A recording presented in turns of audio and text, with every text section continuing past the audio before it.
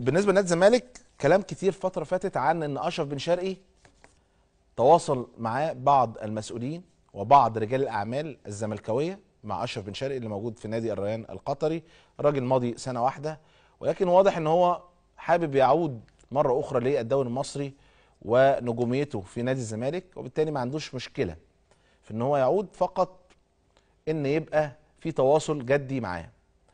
الأيام الجاية هنشوف إيه اللي ممكن يحصل خصوصا إن اللاعب قال لك أنا هكلم النادي القطري وأنا اللي هتفاوض معاهم وأشوف الدنيا ممكن ماشية إزاي على أساس إن هو ممكن يجي في يناير. ده لو مشكلة نادي الزمالك في القيد اتحلت.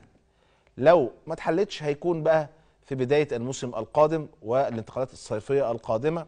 ده بالنسبة لأشرف بن شرقي إن جماهير نادي الزمالك الحقيقة بتعتز بيه جدا وبتحبه جدا من خلال أدائه في الفترة اللي كان فيها نادي الزمالك حصل بيها على بطولتين دوري في الفترة السابقة.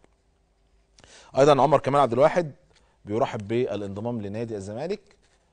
شريطه برضه يعني الحديث ال- التعامل ال- الجدي مع ناديه مودرن فيوتشر لاعب كان موجود لو تفتكروا كان نادي الزمالك يعني كان تعاقد معاه ولولا برضه وقف القيد ما كانش هيرحل من نادي الزمالك ويروح فيوتشر أو مودرن فيوتشر دلوقتي. وبالتالي هو بيرحب بالعودة مرة أخرى لنادي الزمالك وإن كان الحقيقة تألقه في الوقت الحالي في كل ماتش هدف مع منتخب مصر برضه آه، متألق هيزود الفلوس شوية وده وضع طبيعي.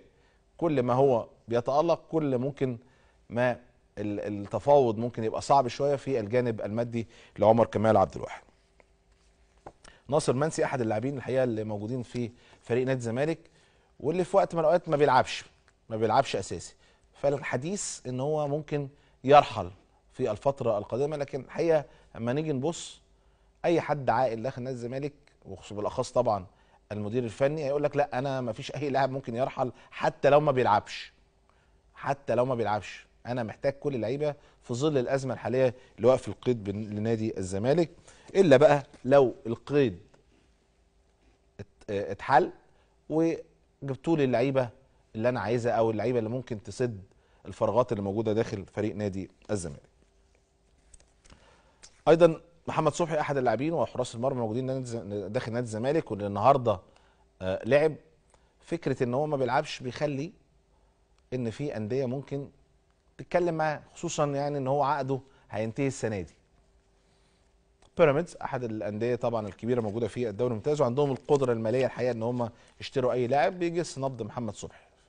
إن هو الراجل لو مش هيجدد في يناير القادم يقدر إن هو يمضي لأي نادي وبالتالي بيجس نبضه في التواجد في نادي بيراميدز في الفترة القادمة.